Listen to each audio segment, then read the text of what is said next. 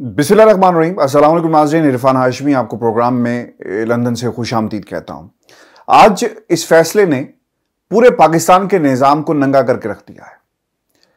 वो फौज, जिसके बारे में हमेशा से कॉन्स्परेसी थ्योरीज हम सुनते थे कि इनका सियासत के अंदर किरदार है, आज बकायदा पाकिस्तान का मीडिया कोट अनकोट करके आर्मी चीफ के बारे में ये बात लिख रहा है कि पाकिस्तान की फौज अब सियासत में अपना किरदार अदा नहीं करेगी। इसका मतलब यह हुआ कि इससे पहले फौज का किरदार था, जिसे कोई तस्लीम नहीं करता था, यानी रैंक्स के अंदर से किसी का तस्लीम ना करना। और ये पहला मौका है कि इसे बाकायदा हमारा सिपा सलार खुद ये तस्लीम कर रहा है कि अब पाकिस्तान की सियासत के अंदर फौज अपना किरदार अदा नहीं करेगी। इसने एक कंट्रोवर्सी को जन्म दिया है, और अब ये कंट्रोवर्सी इतनी आसानी के साथ व्यूअर्स थमेगी नहीं, बल्कि अब मजीद कॉन्ट्रोवर्सी सामने आएँगी। मैं आपको एक बात बताऊँ क्योंकि जब से ये फैसला आया वह पिछले छः माह की सियासत का एक जायज़ा ले रहा था। पाकिस्तान की तारीख में कभी ऐसा नहीं हुआ कि किसी के दौरे हुकूमत में फ़ौज को इतना नुकसान पहुँचे, जो मिलिट्री इंटेलिजेंस की रिपोर्ट्स आती हैं, जिनका बुनियादी तौर पर यह काम होता है कि फ़ौज के अंदर, जवानों के अंदर पब्लिक सेंटिमेंट को चेक किया जा सके कि लोग क्या सोच रहे हैं पाकिस्तान की फौज क्या सोच रही है और किस किस्म के सेंटिमेंट्स पाए जाते हैं? ऑफ़ द रिकॉर्ड मुझे बहुत सारे लोगों ने यह बताया कि सेंटिमेंट्स रिजेंटमेंट्स पाई जाती थी, जो कुछ मुल्क के अंदर हो रहा है, जो कुछ हो चुका और किस तरह डॉन लीग से किरदारों को इंपोर्टेड हुकूमत को दोबारा पाकिस्तान के अंदर मुसलत किया गया। ये एक रिजेंटमेंट थी जो पाकिस्तान के इदारों और मिलिट्री इंटेलिजेंस के बहुत सारे लोगों ने या आपको निजी महफिलों के अंदर और जो सोर्सेज के ज़रिए शेयर करते हुए नज़र आते हैं। व्यूर्स इमरान खान की मकबूलियत में इतना का इजाफा हुआ, जो आपको पाकिस्तान के किसी लीडर की मकबूलियत में इससे पहले इजाफा नज़र नहीं आता। नवाज़ शरीफ को इकतदार से अलग किया गया, कोई बंदा नहीं निकला।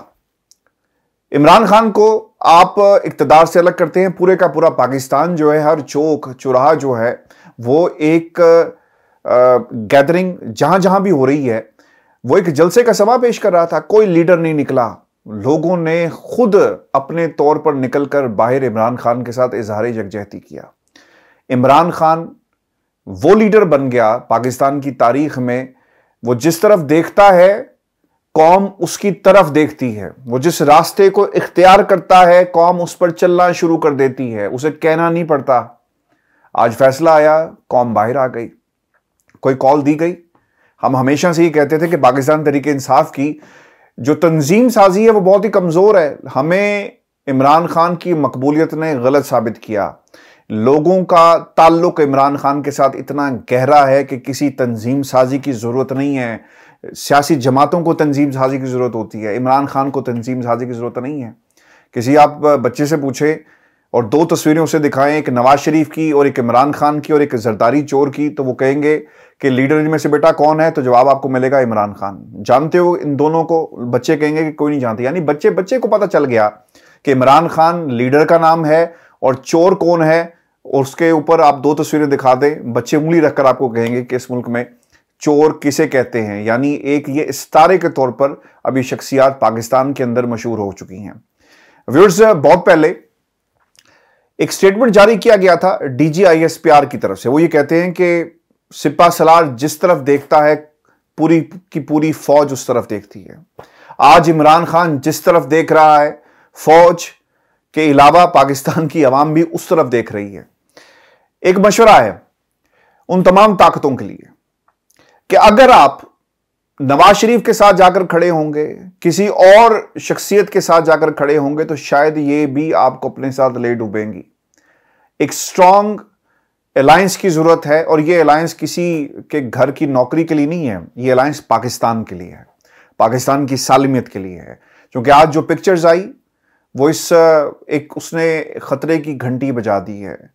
वफाक की पुलिस हमला कर रही है, केपी के पुलिस के ऊपर और जब फोर्सेस आमने सामने आ जाएँ तो ये कोई अच्छे साइंस व्यूज़ नहीं होते। और इस पर गौर करना पड़ेगा आइंदा आने वाले आर्मी चीफ को कि उन्होंने तारीख के किस तरफ़ खड़े होना है। The right side of the history या फिर बाजा साहब के पाँच हफ़्ते रह गए हैं। और जिससे उन्होंने आज कहा कि आज के बाद, यानी अब फौज अपना किरदार अदा नहीं करेगी, ये ना हो कि उनका भी टर्नर पूरा और वो भी यही कह रहे हो। अब ये फैसले की घड़ी है और फैसला करने का वक्त आ गया। कि आपको किसके साथ खड़ा होना है? Right side of the history या फिर the wrong side of the history जिस तरफ़ ये तमाम टोला जो खड़ा हुआ हुआ है। एक शख्स पाकिस्तान के अंदर न्यूट्रल था इस पूरे अरसे में, हमने ये सुना और बार बार ये बात होती रही। पाकिस्तान की मीशत बैठ गई, पाकिस्तान का निज़ाम बैठ गया, पाकिस्तान के अंदर आम आदमी की ज़िंदगी जो है वो जहन्नुम बन गई, लेकिन घर किसी और का बन गया।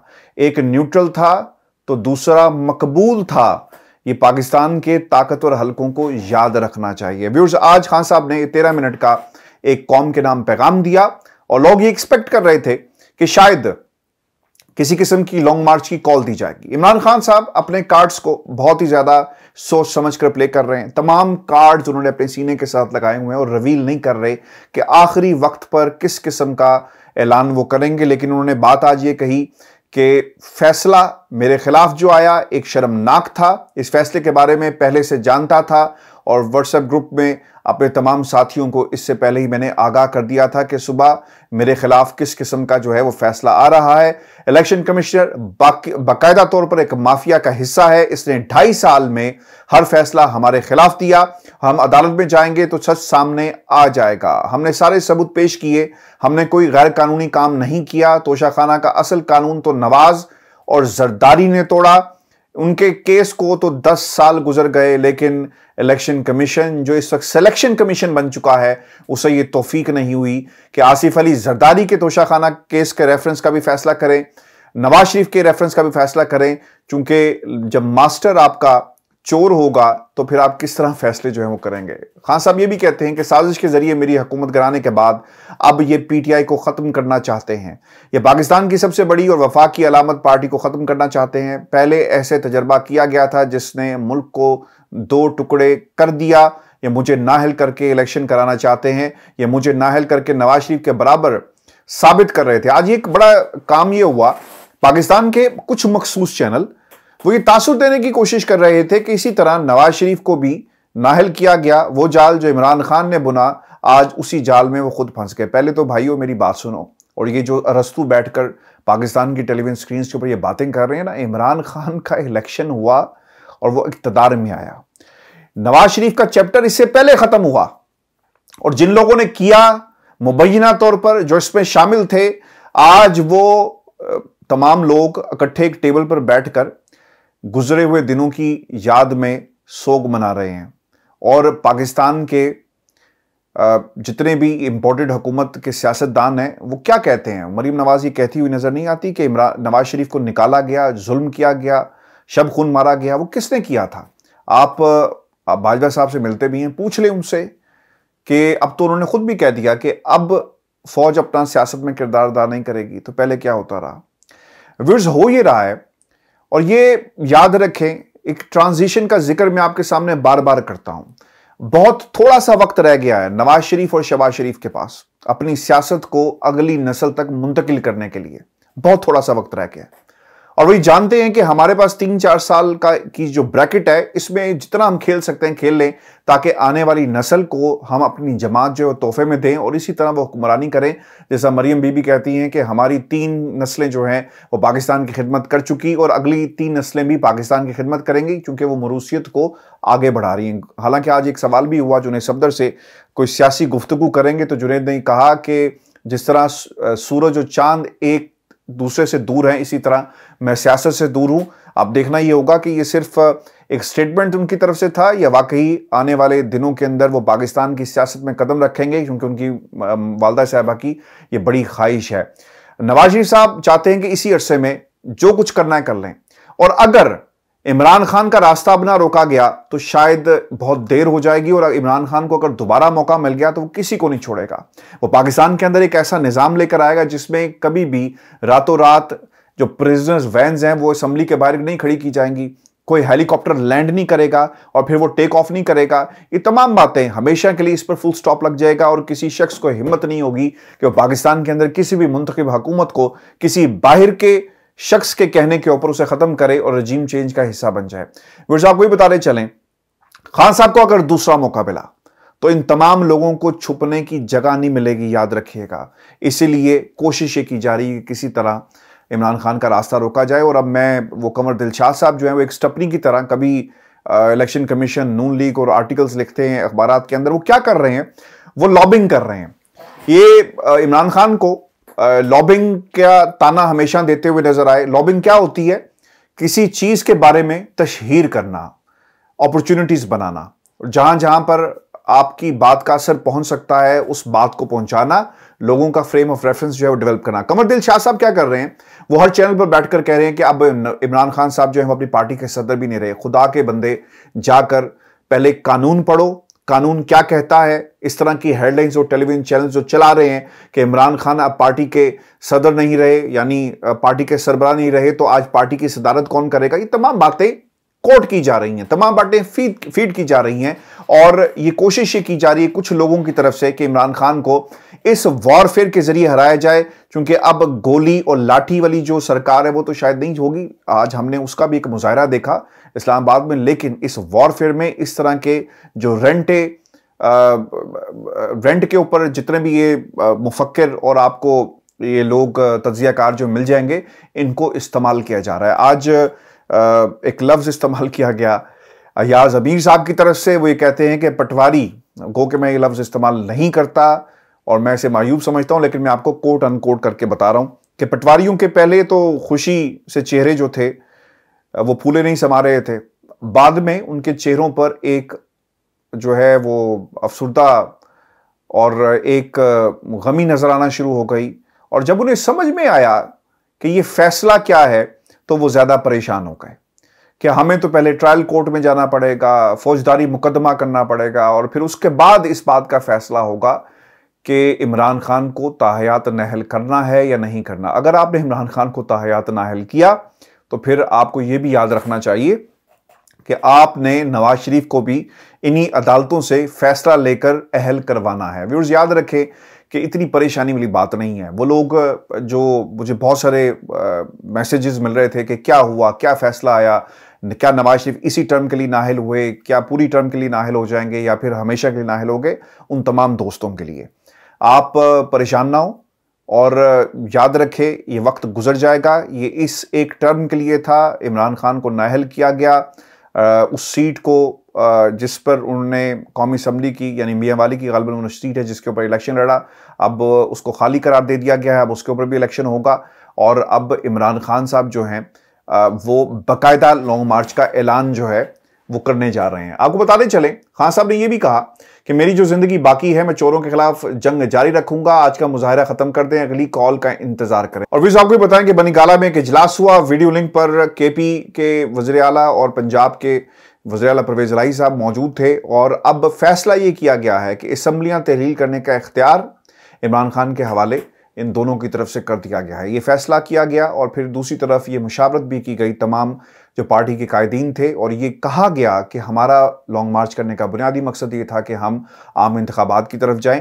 तो अगर हम असम्बलियाँ तहलील करते हैं और फिर लॉन्ग मार्च तो एक बेहतर सिचुएशन पैदा हो सकती है। लेकिन व्यूर्स अब ये नहीं मालूम कि ये फैसला खान साहब क्या करेंगे, क्योंकि तमाम कार्ड्स उन्होंने अपने सीने के साथ लगा कर रखे। लेकिन मैं आपको एक बात बताऊँ कि जब तक वफाक के अंदर आम इंतबात नहीं होते, आप इसम्बलियाँ तहलील करें या ना करें, चूँकि सिंध के अंदर आसिफ अली जरदारी अपना टर्म पूरा करें तो उन्हें कोई नहीं रोक सकता, ठीक है?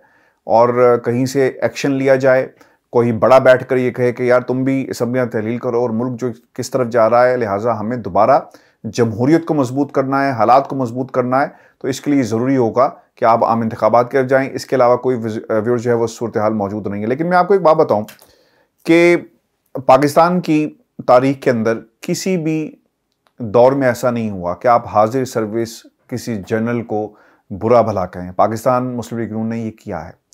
ये बहुत ही अच्छा होता कि आप आर्मी चीफ इस्टेब्लिशमेंट एक मैसेज कन्वे करती पाकिस्तान की मुस्लिम लीग नून को कि यार आप बाज आओ और इससे हमें फेस सेविंग के लिए जो मौका है वो नहीं मिलता और लोग हमारे से सवाल करते हैं। आर्मी चीफ से सवाल करते हैं। आर्मी चीफ को टैग करके डी जी को टैग करके पूछा जाता है। बहुत ही अच्छा होता कि ये पैगाम दिया जाता, लेकिन खुदा बेहतर जानता है कि ये पैगाम क्यों नहीं दिया गया। हम हमेशा ये पूछते रहे कि जनरल जो फैज़ हमीद हैं, वो इसी फ़ौज के जनरल हैं, वो आपके जनरल हैं, वो हमारे जनरल हैं तो उनके बारे में इस किस्म का रवैया क्यों रखा गया? और वो सहाफ़ी जिनकी अल्लाह ताला से डर कर ये मैं बात कर रहा हूँ कि कोई हैसियत इस निज़ाम के अंदर नहीं को जो किसी के साइड किक के तौर पर आपको चैनल्स पर बैठकर काम करते हुए नज़र आएँगे और किसी किसी से ब्रीफिंग लेते हैं और फिर जाकर चैनल्स पर बैठ जाते हैं, अपने दिफाई ज़राए और पता नहीं क्या क्या करके वो बातें करते हैं। उनके ज़रिए जनरल फैज़ की तजलील करवाई गई। अब जनरल फैज़ के साथ ये सलूक क्यों रखा गया, इसके, ये सोचने की असल बात है। और इसके ऊपर बहुत सारी रिजेंटमेंट मौजूद है। कल को ये वक्त किसी और पर भी आएगा। पाँच हफ़्ते दूर नहीं है। मैंने पहले भी कहा था, इस मुल्क के अंदर आर्मी चीफ मुशरफ साहब, उस दिन मैंने बात की तो लोगों ने मुझे कहा कि नहीं जी, आप गलत कह रहे हैं मुशरफ कोई मकबूल नहीं थे। पाकिस्तान की आवाम में शायद मकबूल होना हो, बिल्कुल नहीं थे, ठीक है, लेकिन वो पाकिस्तान की फ़ौज में मकबूल ज़रूर थे। ये मैं आपको एक बात बताऊँ, ये मकबूलियत पहले कभी किसी को नहीं मिली, जो जनरल परवेज मुशरफ को फ़ौज के अंदर हासिल थी। आम आदमी, आम पब्लिक के अंदर नहीं अगर होती तो रेफरेंडम हुआ उनकी हकूमत और लॉन्ग मार्च और जिस तरह उनकी हकूमत गई सब चीज़ें मौजूद हैं ऐसा ना होता। लेकिन जो मकबूलियत फ़ौज के अंदर थी वो आ, हमारे आ, जो प्रेजेंट आर्मी चीफ हैं शायद इनके पास ना हो। और इसकी बुनियादी वजह आपके फैसले हैं। और मैं आपको फिर जाते जाते ये कहता हूँ जो भी नए आर्मी चीफ आए याद रखें ये गोल्डन अपॉर्चुनिटी है। इमरान खान जिस तरफ़ देख रहा है कौम उस तरफ़ देख रही है। अगर पाकिस्तान के ताकतवर हल्के, पाकिस्तान का अगला आर्मी चीफ कौम के साथ खड़ा होगा तो ये फैसला आसान हो जाएगा। और अगर वो फैसला कौम के साथ ना हुआ तो यकीनन आपने इन ताकतों का तो हाल देख लिया। अपना जो जमहूरी चेहरा है, नवाज़ शरीफ साहब, पहले बनाते हैं, फिर बिगाड़ते हैं, फिर बनाने की कोशिश करते हैं, फिर कोई और आकर बिगाड़ जाता है। तो ये फिर गेम इसी तरह चलेगी, पाकिस्तान को बहुत ज़्यादा नुकसान हो रहा है। आज एफएटीएफ से हमारा नाम बाहर आया उसमें भी सुन लें। वो वीडियोस मौजूद हैं जिसमें ऑपोजिशन ने उस वक्त की किस तरह कानून साजी में हिस्सा लेने से इनकार किया, वो वॉकआउट करके चले जाते हैं। आज एक पैगाम मीना रेबानी घर की तरफ़ से दिया गया, बड़ा अंग्रेज़ी में बोल रही थी फर फर तो काश वो अपने उस दिन जो उन्होंने काम किया और वॉकआउट उन्हें याद होता कि जब कानून साजी की जा रही थी तो क्यों उन्होंने ऑपोजिशन बेंचेस से वॉकआउट किया। इसका कि है किसी के पास जवाब? कोई जवाब नहीं। आज शहबाज शरीफ साहब जो मास्टर हैं अपने केसेस को ख़त्म करने के करप्शन के, अरबों रुपए की करप्शन के, आज वो बड़े फ़ख्र से कहते हैं कि हमारी अंत तक कोशिशों का नतीजा ये है कि आज पूरी कौम को मुबारक हो कि हमारा नाम है ग्रे लिस्ट से वाइट लिस्ट में आ गया। खुदा का खौफ खाएँ। आपकी चार पाँच साल की सियासत रह गई है, उसके बाद आपको कोई पूछेगा भी नहीं। घर में भी कोई नहीं पूछेगा। और हमने वो लोग पाकिस्तान और तारीख में से मिटते हुए देखे हैं, जिन्होंने अपनी ज़ात पर बबनी फैसले किए और पाकिस्तान की कौम को बहुत पीछे धकेल दिया।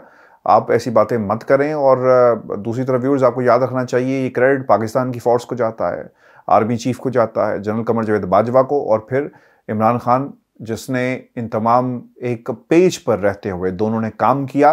और तीसरी कोई एंटिटी नहीं है, जिसको ये जो है वो पहुँचे। आज बहुत ही अच्छा होता, अगर पाकिस्तान की इम्पोर्टेड हुकूमत जो है, वो क्रेडिट देती, जिनका ये क्रेडिट बनता था। व्यूअर्स आपको बता दें कि अब और जाते जाते ये भी मैं आपको बता दूँ कि इसके ऊपर इमरान खान और army chief general Qamar Javed Bajwa कामयाबी के असल हीरो हैं परवेज लाई साहब कह रहे हैं। उन्हें मालूम है कि असल में हुआ क्या है, क्योंकि हुकूमत तो इनकी थी, साढ़े तीन साल आपकी आपके बयानी को जो है वो रोकते रहे। झूठ का जो बयानिया था उसको आपने एक रुकावट बनकर चटान बनकर रास्ते में खड़े रहे। तो क्रेडिट तो उनको जाता है। जहाँ पे लॉ मेकिंग हुई, वो भी पाकिस्तान तरीके इंसाफ का काम था। जाते जाते ख्याल मेरे जहन में आ रहा था और मैं प्रोग्राम के शुरू में आपके सामने रखना चाहता था, लेकिन ये बहुत ही अहम बात है। मरीम नवाज़ ने ये कहा कि जनाब लेवल प्लेइंग फ़ील्ड और टेलीविज़न चैनल्स के ऊपर ये बकायदा सवाल पूछा जा रहा है कि इनको कैसे मालूम था कि फैसला क्या आना है? ज़ाहिर सी बात है, रात को दिखाया गया होगा और एक फैसला अभी तक मौसूल नहीं हुआ। हर सूबे से फैसला आना है कि पेज आना है, फिर उसे जोड़कर किताबचा बनाकर दे दिया जाएगा। मरीम नवाज़ ये कहती हैं कि लेवल प्लेइंग फ़ील्ड दी जाए। तो बात तो ये है ना कि लेवल प्लेइंग फ़ील्ड का मतलब ये है कि नवाज़ शरीफ की जदादें बरतानिया के अंदर अरबों की करप्शन इनके बच्चों ने आज तक नहीं बताया पैसे कहाँ से आए। मरीम नवाज़ की लंदन क्या, दुनिया में कहीं जायदाद, पाकिस्तान में कहीं जायदाद नहीं, जायदाद निकल आई तो इतनी ज़्यादा करप्शन, जरदारी ओमनी ग्रुप और पता नहीं कितने फ्रंट मैन अरबों रुपए की करप्शन मनी लॉन्ड्रिंग के केसेस अयान अली वगैरह वगैरह।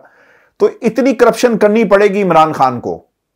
और फिर उन्हें रिलीफ दे दिया जाए तो फिर होगी लेवल प्लेइंग फ़ील्ड यानी इन जितनी करप्शन करो, फिर कोई आकर तुम्हें एक इनकलाब झूठे इनकलाब के नाम के ऊपर एनआरओ टू दे और फिर तुम कहोगे कि एक लेवल प्लेइंग फ़ील्ड मिल गई।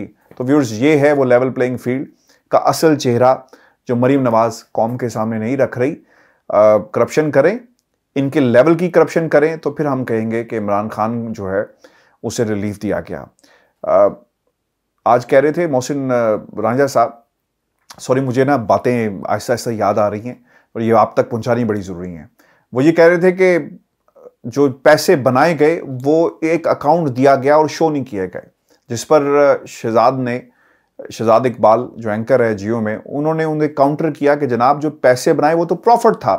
तो पहले तो आप कहते रहे कि ट्रेल जो है वो देना ज़रूरी नहीं है। आपने शाहजेब के साथ बैठकर ये बात कही तो आज आप कह रहे हैं कि ट्रेल देना बहुत ही ज़रूरी था। तो व्यूर्स एक तजाद पाया जाता है इनके कॉलोफेल के अंदर, इस केस के अंदर जिसका कोई सर पैर नहीं है। याद रखें, एक न्यूट्रल था और एक मकबूल है। ये पाकिस्तान की तारीख में हमेशा के लिए लिख दिया गया है। वर्ज अपने कमेंट ज़रूर भेजिएगा। चैनल को सब्सक्राइब करना मत भूलें। इजाज़त दीजिए। अल्लाह के बाद